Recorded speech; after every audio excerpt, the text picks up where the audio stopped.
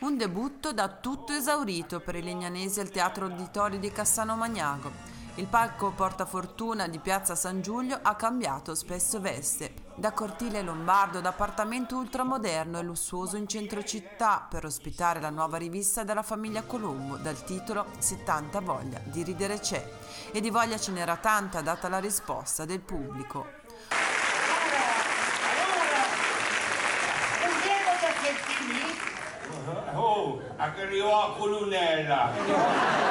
Un pubblico che si è divertito alle battute pungenti dell'energica e brillante Teresa, sempre in combutta con il bistrattato Giovanni, e che è stato rapito da musiche e costumi sfarzosi, colori e coreografie ancora più coinvolgenti del solito, per festeggiare alla grande i 70 anni dalla fondazione della compagnia dialettale dei Legnanesi e dove la Mabiglia ha sfoderato le sue doti di diva e soubrette.